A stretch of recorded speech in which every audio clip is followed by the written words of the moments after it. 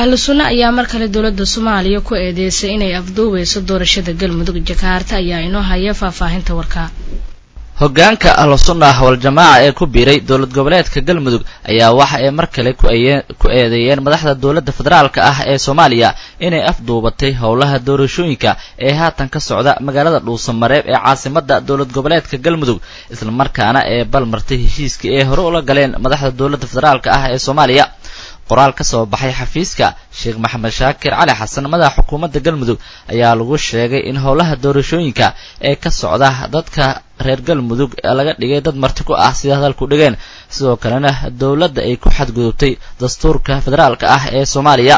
Sidoo kale qoraalka ayaa waxaa lagu sheegay in mustaqbalka dadka reer galmudug oo haatan noqday mid mugdi sii gelaya oo aan wax wada tashi ah lagala yeelan dhismaha galmudug ee haatan socda howlaha dowladda federaalka soomaaliya waxaa inta badan saamilayda siyaasadda oo ay ahlu sunna wal-jamaaca ka mid tahay iyo dadka reer galmudug uga digeen in la keliyoobo dowladda federaalka hanaanka dhismaha galmudug balse waxay u muuqataa in dowladda soomaaliya aysan u dhirinaynin dadka reer galmudug ay nooc caddahay oo keliya inay gaaraan ujeedkooda ah inay si afduub ah ku dhistaan maamul aan loo midaysnayn oo ku yimaada hanaan doorasho aan daah furnayn iyo weliba musharaxiin markaasi malxiis ah taasina waxay hanaanka ka dhigaysaa damaca waalida ah ee maroqsiga ku dhisan ee dowladda federaalka soomaaliya. Ka wada galmudug ayaa lagu yidhi war-saxaafadeedka ka soo baxay madaxa xukuumadda maamulka galmudug maxamed shaakir cali xasan waxaana ugu dambeyn ahlu sunna ay sheegeen inay dhisi doonaan maamul cusub oo galmudug ka maax banaan ayna dhisayso uu yahay kan dowladda federaalka ah ee soomaaliya tan iyo markii dowladda federaalka soomaaliya ee gudagashay dhismaha maamulka galmudug islamarkaana madaxda dowladda ugu horreeyo ra'iisul wasaare xasan cali kheyre ee sheegay inay dhisayaan galmudug midaysan oo dhan yahay. Waxaa jirta caqabado hor leh oo markaasi ku gudboonaa dhismaha maamulka galmudug kuwaasoo inta badan u dhexeeyey dowladda federaalka ah ee soomaaliya iyo weliba hoggaanka ahlu sunna wal-jamaaca waxaana xusid mudan in sidoo kale dhowaan afar musharax oo ka mid ah musharaxiinta dowladda federaalka soomaaliya oo aragto inay ka soo horjeedaan ay shaaciyeen gebi ahaanba inaysan qayb gelaynin doorashada marka haatan ka socota magaalada dhuusamareeb ilaa iyo inta markaasi xal laga gaarayo arrimaha ku saabsan khilaafka u dhexeeya dowladda federaalka soomaaliya ahlu sunna iyo madaxweynaha maamulka galmudug axmed ducaale geelle xaaf oo howlaha dhismaha galmudug dhankiisa ka wada magaalada gaalkacyo ee xarunta gobolka mudug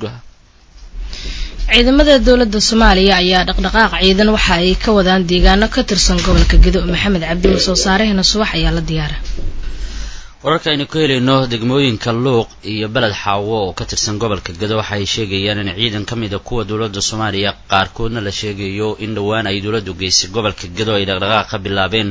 degmooyinkaas oo horey si gaara u hoostegi jira wasiirka arrimaha amniga ee jubbaland oo hadda ku jira gacanta dowladda soomaaliya dhaqdhaqaaqaas ayaa la sheegay in uu yahay mid ay dowladda soomaaliya uga gol leedahay in guud ahaan gobolka gedo ay gacanta ku dhigto oo qeybo ka mid ah la sheegayo inay ku sugan yihiin ciidanka jubbaland. Jubbaland ayaa odayaal ku kulmisay magaalada kismaayo shalay waxaana ay aada u dhaliileen dhaqdhaqaaqa ciidan ee ay dowladda soomaaliya ka bilowday gobolka gedo iyadoo saraakiil ka tirsan kuwa jubbaland oo iyaguna ku sugan gobolkaas. Laftigoodu ay sheegeen in dowladda soomaaliya xaalad colaada ay ka horanayso gobolkaasi qaar ka mid ah xildhibaanada golaha shacabka ee dowladda federaalka ah ee soomaaliya ee ka soo jeeda gobolka godo ayaa bogaga ay ku leeyihiin baraha bulshada. Saacadihii u dambeeyey waxay ku soo daabacayeen in dowladda soomaaliya ay abuurayso xaalad colaadeed oo ka dhanaa shacabka ku nool gobolka gado maadaama ciidamo fara badan iyo mas'uuliyiin qaarkood laga soo qaaday gobolka gado. Dibna loogu celiyo gobolkaas iyaga oo sida sida ay warka u dhigeen fariimo ay ka wadaan dowladda soomaaliya geeyay gobolka gado taas oo xaaladii markii hore gobolka gado ka jirtay u bedelaysa mid kale maadaama gobolka gado qeybo ka mid a ay hore gacanta uga hayeen siyaasad ahaan iyo amni ahaanba maamulka jubbaland madaxda maamulka jubbaland ayaa sheegay in dowladda soomaaliya si walba ay isugu dayeyso inay u kala fufurto maamulkaasi laakiin ay saraakiisha ciidanka jubbaland diyaar u yihiin in mar kasta ay difaacaan dhulka jubbaland oo aanay cidna u ogolaan in xadgudub siyaasadeed iyo mid amniba ay ku samayso. Mas'uuliyiinta amniga ee gobolka gado ayaa iyaguna waxa ay tilmaameen in degmooyinka ku dhow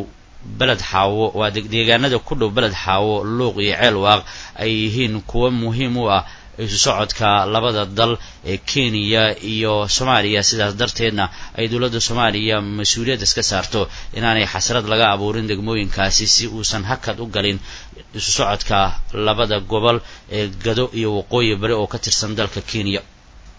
Dhowaan ayaa dowladda soomaaliya waxa ay xirtay mas'uuliyiin ka tirsan maamulka gobolka gado kuwaas oo la sheegay in ay ka hor yimaadeen dalab dowladda ah oo ku aadanaa in si toos ah ay ula shaqeeyaan maamul ay dowladda soomaaliya u magacowday gobolka gado ee maamulka jubbaland. Laakiin jubbaland ayaa iyaduna dhinaceeda waxay wadaa dadaal ay ku doonayso in gobolkaasi uusan si fudud gacanteeda uga bixin maadaama maamulka hadda si gaara uu uga shaqeeyo magaalada kismaayo iyo deegaanada ku dhadhow hay'adda socdaalka iyo jinsiyadda soomaaliya ayaa sheegtay in la hakiyay bixinta baasaboorka fu-aad maxamuud maxamed ayaa inoo haya warkaa hay'adda socdaalka iyo jinsiyadda dowladda federaalk soomaaliya ayaa soo saartay wargelin ku aadan in muddo toddobaad ah la hakinayo qabashada baasaboorka soomaaliga. Fariin kooban ay baahisay hay'adda waxaa lagu sheegay in muddo toddobaad ah la hakin doono qabashada codsiga baasaboorka laga bilaabo janaayo labaatan iyo toddobadeeda ilaa iyo labada februari laba kun iyo labaatan ayaa lagu sheegay qoraal lagu baahiyey facebooka hay'adda in la hakin doono qabashada codsiyada baasaboorka. Hay'adda socdaalka iyo jinsiyadaha soomaaliya waxa ay sheegtay in sababta hakadka keentay ay tahay howlo farsamo oo ka socda hab bixinta baasaboorka inkastoo aan si faahfaahsan loo sheegin howlahaas howlo farsamo iyo horumarin ah oo ka socda habka bixinta baasaboorka awgood waxaa muwaadiniinta soomaaliyeed meel kastoo ay joogaan lagu wargelinayaa in laga bilaabo janawari labaatan iyo todoba laba kun iyo labaatan maalinta isniinta ilaa iyo februari labadeeda laba kun iyo labaatan maalinta axadda la hakiyey qabashada codsiga baasaboorka ayaa lagu yiri qoraal hay'adda socdaalka iyo jinsiyadda soomaaliya hay'adda ayaa horay marar badan u hakisay waxaana taasi ay saameyn ku yeelataa dad safarada deg dega ah uu ku jiro iyo kuwa xaalad caafimaad dibadda u baahda. Kaasina wuxuu ahaa wariyaheena fu-aad maxamuud maxamed oo inala socodsiinaya warkii ku aadanaa hay'adaha hay'adda socdaalka iyo jinsiyadaha soomaaliya oo sheegtay in la hakiyay bixinta baasaboorka. Markaana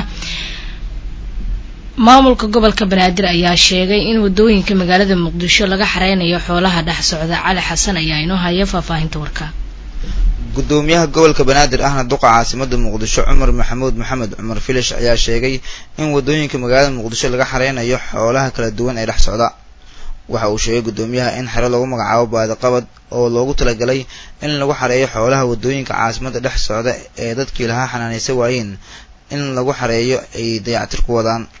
waxa uu intaa ku daray gudoomiyaha in haddii dhismaha xaruntaasi oo ku taalla meel u dhow kawaan bari la dhammaystiro ay digniin u diri doonaan dad kale xoolahaasi haddii ay xanaanaysan waayaan laga xareyn doono si ay u soo hagaagto bilicda caasimadda waxaan idin sheegayaa xero la yidhaha baadiqabad oo mar hore la dhisay laakiin burburtay. Ayaan hadda dhismo ka wadnaa oo gebageba weliba xeradaas waxa ay ku taal kawaanka gowraco bari rombar meesha. Ayay ku taallaa xeradaas waa gebagebo. Marka xeradaas xarigga laga jaro meediyaad ka ogaan doontiini.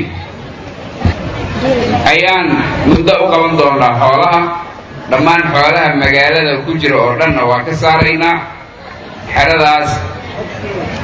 ayaa lagu xarayn doonaa wixii cidaa iskalu ay ka ceshi waayeen beledka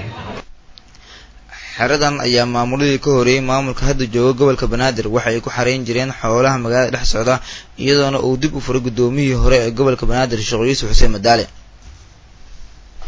Weli waxaad la socotaan warka subax ee warbaahinta risaale markaana qodobada caalamka dowladda iiraan ayaa waxa ay dishay ganacsado weyn oo maanduuriyaha ka shaqaysan jiray kaa oo lagu magacaabo ama lagu naaneysi jiray yaxaaska gacanka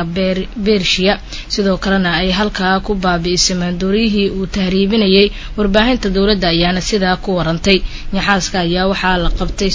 isaga oo ku guda jira dhoofinta in ka badan boqol tan oo maanduuriye ah oo uu marsiinayay biyaha caalamiga ah ee saraakiisha ayaana sidaa sheegay. Soddon iyo lix jirkan iyo caawiyihiisa ayaa la dilay kadib sanado badan oo ay socdeen howlgal sirdoon. Iiraan ayaana sanad walba waxa ay qaarijisaa boqolaal maxbuus hay'adaha u dooda xuquuqda aadanaha ee amnesty international ayaana sheegtay in dalka uu laba kun sideed iyo tobankii dilay ugu yaraan laba boqol konton iyo saddex qof kuwa oo ay ka dhigan tahay in dilku uu hoos u dhacay boqolkiiba konton markii la fiiriyo. Tirada la dilay sannadkii kaas oo ka horeeyey ay ahayd shan boqol iyo toddoba waxaana sababta lagu sheegay in isbeddelka lagu sameeyey shuruucda adag ee u degsan ka hortaga maanduuriyaha hase yeeshee maanduuriyaha heer caalami ayaa weli waxa uu sababi karaa in qofkii lagu qabtaa la dilo